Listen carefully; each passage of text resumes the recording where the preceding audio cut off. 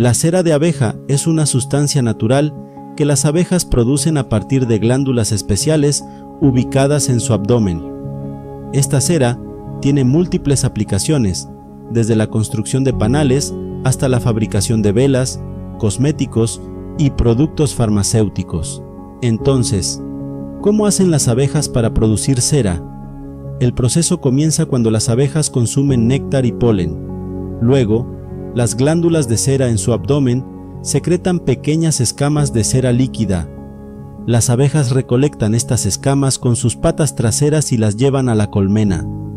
Dentro de la colmena, las abejas trabajadoras moldean estas escamas de cera en panales hexagonales. Estos panales sirven como hogar para la cría de abejas, almacén de miel y polen, y lugares donde las abejas guardan sus larvas.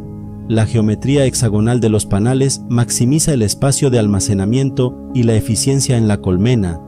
La cera de abeja es un producto muy versátil, se utiliza en la industria cosmética para crear cremas, lociones y bálsamos labiales naturales debido a sus propiedades hidratantes.